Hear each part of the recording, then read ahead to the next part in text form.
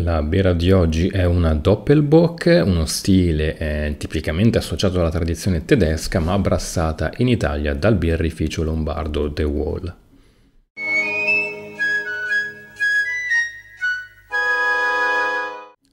Prima di vedere le caratteristiche di questa birra e eh, procedere alla degustazione, eh, se i miei calcoli sono esatti, questo video dovrebbe uscire la settimana prima, o meglio il lunedì eh, stesso della settimana in cui inizierà il Beer Attraction di Rimini o Beer and Food Attraction da quest'anno se non vado errato di Rimini. Io riuscirò a partecipare il lunedì 17 che credo sia l'ultimo o il penultimo giorno di eh, fiera, ovviamente se dovesse capitare di incontrarsi con qualcuno eh, farebbe sicuramente piacere, se non doveste riuscire a partecipare eh, vedrò di fare magari qualche piccolo report o fotografico o anche video. Mm, adesso vedo un po' come attrezzarmi. In eh, tal caso, se vi va, vi rimando anche al mio account Instagram dove eh, probabilmente se riesco anche lì tra una degustazione e l'altra proverò a prendere un po' di appunti su ciò che c'è in fiera e fare appunto qualche, qualche video. Ma passiamo adesso alla birra in questione. Appunto abbiamo detto che il birrificio è The Wall, ci troviamo in provincia di Varese. Eh, piccola nota, abbiamo nominato pochi video fa sia Varese sia The Wall. Varese perché è la stessa zona in cui eh, ha sede anche Extra Omnes, citato credo due video fa, e The Wall perché l'abbiamo nominato tre video fa, se non conto eh, errato, perché è anche il birrificio dove brassa la beer firm Nix Beer, citata appunto eh, pochi video fa. Dicevo The Wall, siamo quindi a Varese, in Italia la birra in questione è una eh, Doppelbock, categoria 9A del BJCP e il nome di questa birra è appunto Billy Goat. Grado alcolico per questa birra 7,5 gradi, acquistata in un beer shop, questa bottiglia da 33 cl a 3,70 euro, bicchiere suggerito per questa birra eh, un Pilsner, appunto classico tedesco, o anche un Pokal che è molto molto simile. E non si tratta di un primo assaggio. Allora, innanzitutto credo sia questa la prima birra che eh, registro su questo canale di The Wall. Ho cercato qualche informazione sul birrificio e a differenza di molti altri siti, fortunatamente The Wall eh, racconta anche un po' la storia delle persone e del birrificio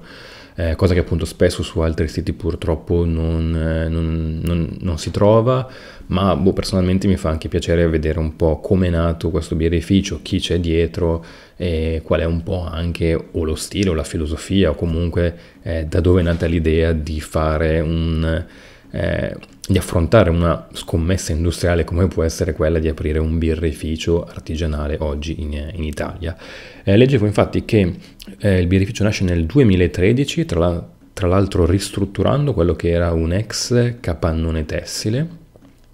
Eh, è presente anche sull'esterno del birrificio un grande eh, graffito eh, realizzato, cercato, il writer si chiama Max Gatto, che è anche l'autore di tutte le etichette di eh, The Wall, che hanno sempre dei disegni, secondo me, molto ehm, ben fatti e eh, particolareggiati, e appunto è lo stesso autore di ehm, questo appunto murales che c'è sulla parete esterna del birrificio. L'impianto è da 20 eh, ettolitri, eh, a cui seguono 16 fermentatori, quindi 20 ettolitri la parte di cotta, di sala cottura e 16 fermentatori. Eh, infatti appunto come dicevamo prima fa anche un po' di eh, birra conto terzi The Wall mi viene in mente appunto Nix Beer citato due video fa a proposito di eh, etichette e disegni su questa etichetta c'è eh, quello che sembrerebbe essere uno stambecco o eh, un ariete. E qui dovremmo fare un passettino indietro per introdurre lo stile. Allora se non vado errato così a memoria su questo canale dovrebbe esserci il video della Paulaner Salvator che mh, mm, in quel video appunto ho fatto un po' un'introduzione allo stile appunto delle Bock e Doppelbock perché appunto la Paulaner Salvator è da un certo punto di vista considerata un po' la capostipite di questo, eh, questo, stile. Lo stile infatti nasce nel 1600 circa in un convento di monaci paolini vicino a Monaco di eh, Baviera. La birra nasce come birra eh, da quaresima, comunque una birra pensata, le bock e le doppelbock dico, eh, nascono appunto come birre pensate per quei periodi in cui il clero doveva praticamente stare a digiuno. Questo perché il digiuno eh, è inteso semplicemente come un digiuno dal cibo solido, mentre non, non c'è nella, nelle scritture o comunque nell'interpretazione che il clero eh, dà delle scritture un riferimento esplicito al digiuno da bevande liquide. Di conseguenza, con questa classica mh, mm, escamotage per raggirare le regole eh, divine, c'è questo, um, si è creato questo, questo stile di birre particolarmente nutrienti, particolarmente caloriche, sia per un utilizzo abbondante di malto, sia per eh, zuccherini, sia per il volume alcolico sostenuto, sappiamo che l'alcol è molto calorico, e quindi si può raggirare il divieto di introdurre cibo solido con dei cibi liquidi molto eh, sostanziosi, tanto che queste tipologie di birre eh, venivano chiamate eh, pane liquido proprio per indicare come la natura fosse molto simile a quella di, del pane, uno dei cibi principalmente eh, utilizzati e consumati ovviamente soprattutto in epoca antica, ma appunto sotto forma liquida e quindi in modo tale da fregare tra virgolette la legge divina che imponeva il, eh, il digiuno. Sul sito della Paulaner c'è anche una bella storia eh, che racconta che mh, mm, a un certo punto, eh, se non ricordo, l'abate di, un, di, questo monastero appunto paolino, eh, all'abate viene un po' il dubbio che forse insomma, si stia un po' peccando di gola o comunque non vada proprio bene questo escamotage per raggirare la regola del digiuno durante la quaresima. E allora cosa succede? Chiedono al Papa se possono fare questa cosa. Prendono una botte di quella che poteva essere un'antenata delle Bock o delle Doppelbock moderne, la spediscono a Roma, questo durante il periodo di Quaresima, in diversi giorni la botte arriva a Roma in uno stato che vuole la, le- la leggenda che appunto ho letto su questo sito, eh, non arrivasse proprio nel migliore dei modi. Probabilmente quindi a Roma, in Vaticano, hanno assaggiato un qualcosa di probabilmente infettato, acido, ehm, e la, la, le considerazioni che, che, furono fatte dal Papa mh, mm, furono appunto che un prodotto così difficile da eh, bere sicuramente doveva avere proprietà curative per l'anima per il corpo, per lo spirito appunto e per gli organi del, del corpo. Di conseguenza dà l'ok a consumare praticamente illimitatamente tutta la, la Doppelbock che i Paolini volevano. Eh, questa appunto, ripeto ancora, è una storia che ho trovato online, magari vi lascio in descrizione anche il sito, ah, il sito della Paulaner dove viene raccontata questa storia,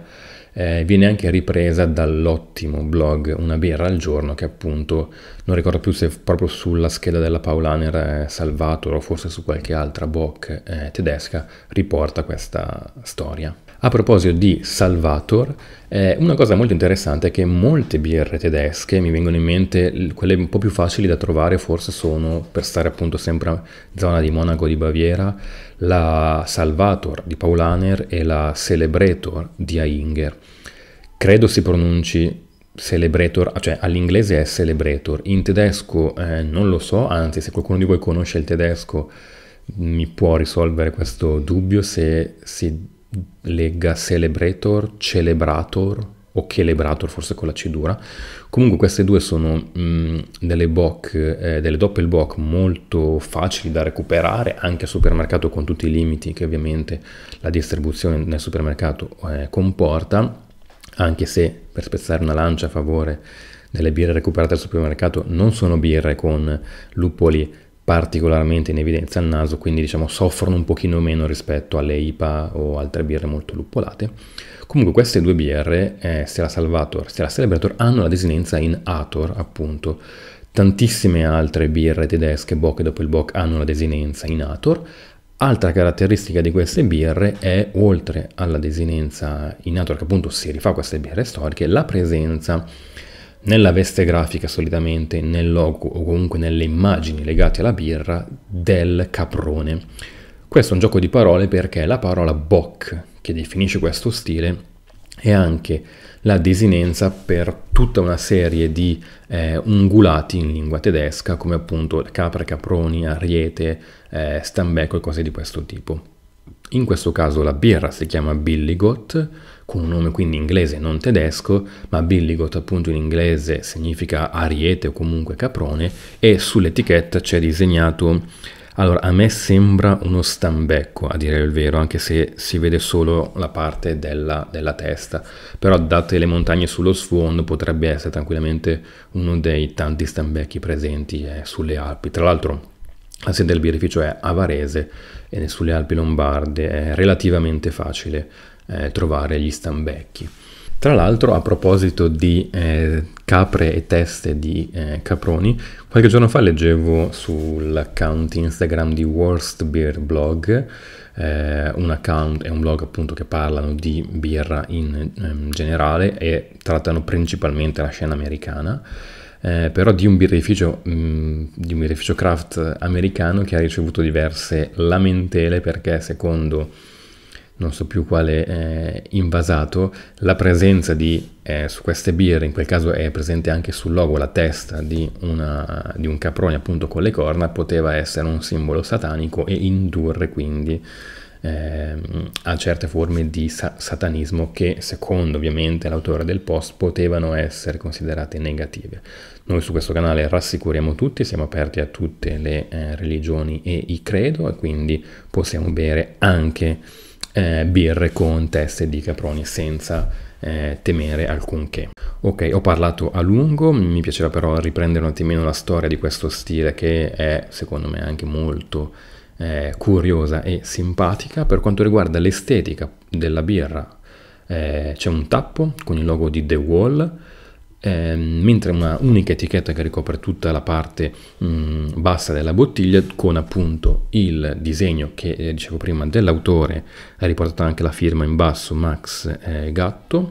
il logo appunto Billigot riporta questo stambecco e sul, sul retro invece dell'etichetta ci sono le informazioni classiche, ingredienti che in questo caso sono malto d'orzo, luppolo e lievito,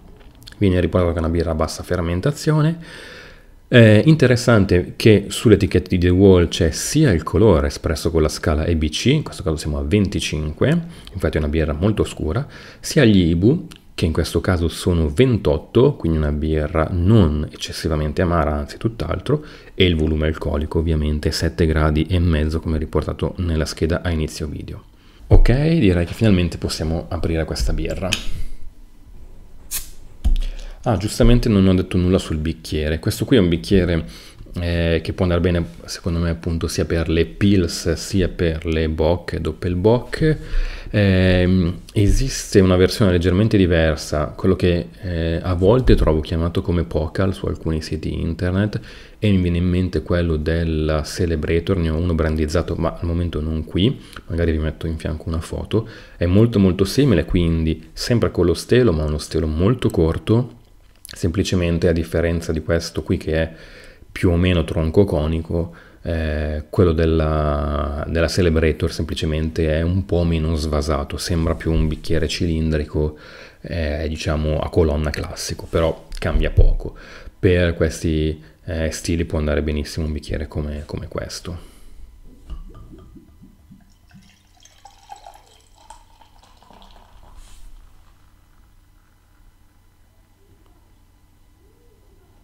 Allora, se volessimo fare una spillatura in tre colpi come vuole la spillatura alla tedesca, o meglio il servizio alla tedesca, visto che non la stiamo spillando direttamente da un impianto, eh, sarebbe bene tecnicamente non mettere la bottiglia in verticale per evitare di alzare il fondo e di riversarlo. Solito discorso che faccio quasi in ogni video. In questo caso mm, non, eh, per praticità non sto a fare il servizio in questo modo, eh, comunque il lievito adesso si è già agitato un pochino sul, sul fondo, eh, ma farò quindi solo la degustazione di questa, eh, di questa prima mescita. Poi magari a, a telecamera spenta verserò anche tutto il resto, mi degusterò anche il lievito. Partendo però dall'analisi appunto visiva, allora la schiuma è abbondante con una grana eh, abbastanza fine e di un colore non è propriamente bianca, è un diciamo color crema perché tende appunto leggermente a un color beige marroncino, però molto molto tenue. Il colore della birra, allora innanzitutto la birra è molto limpida ed è un bel color ambrato con una discreta frizzantezza, si vedono già alcune bollicine che appunto si muovono verso l'alto del bicchiere. Direi che passiamo al naso. Allora, il naso non è particolarmente intenso, l'intensità è, è bassa o medio-bassa. Ciò che troviamo nel naso sono sicuramente i malti, malti che vanno dal caramello al miele. Principalmente le due cose importanti che si trovano al naso sono appunto miele e caramello. Non c'è speziatura. Una cosa ecco che c'è in questa birra che in altre bock mancano, molto leggera ma concentrandosi e andando proprio a pensare alla si sente, c'è un, eh, una parte data dei luppoli che va floreale erbaceo, molto leggera appunto, ma è una componente appunto che si sente. Sono leggeri questi luppoli, ma ci sono, non in tutte le boc ci sono. Lo stile appunto non prevede una componente eh, predominante dei luppoli, ma appunto in questo caso si sente una leggerissima eh, luppolatura anche al naso. Beh, anche in bocca è esattamente quello che ci aspettavamo al naso. La caratteristica principale, il gusto principale in bocca è il dolce. C'è la dolcezza del malto che ha il sopravvento su tutto, bilanciata sì solo in fondo da una piccola chiusura maricante ma molto leggera e sicuramente la sensazione principale, la sensazione gustativa principale è il dolce. Sul retrogusto e retroolfatto le sensazioni sono ancora quelle ovviamente dei malti, caramello e miele principalmente, un po' di eh, erbaceo dei luppoli appunto solo verso la fine. Considerazioni sul corpo e sulle sensazioni boccali. Allora, rispetto ad altre boc, eh, mi viene in mente, mm, penso sempre alla Celebrator perché è quella che ho consumato maggiormente, soprattutto quando ho iniziato a cercare di conoscere stili diversi, essendo molto facile da reperire la Celebrator ed è, è piacendomi molto come birra, ne ho consumata parecchio. Ecco, se, sto, se provo a fare un confronto con quella che per me è stata uno dei primi approcci alle bocche, alle eh, doppelbock per essere precisi, qua trovo un filo meno corpo, nel senso che il corpo è medio, ma non è particolarmente appunto corposa come birra, ma una frizzantezza leggermente eh, maggiore che per esempio su altre bock eh, non, non, non, trovo. Ultima considerazione sempre per l'aspetto appunto gustativo è eh, l'alcolico e il warm appunto in bocca. Che è presente, è presente solo a fine della bevuta quindi non è mai invadente perché a 7 gradi e mezzo incominciano a essere diciamo che cominciamo a spostarci nella fascia alta eh, delle, mh, delle categorie diciamo di alcoliche di birre. E infatti non è, non è una Bock ma una Doppelbock quindi con un grado alcolico più importante ma appunto non è mai fastidioso questo alcol, è solo un leggero warm eh, che si sente, un leggero warming che si sente appunto in bocca a fine bevuta. Per concludere quindi un'altra ottima eh, Bock made in Italy, questa era la Billy Goat del birrificio The Wall. Skoll!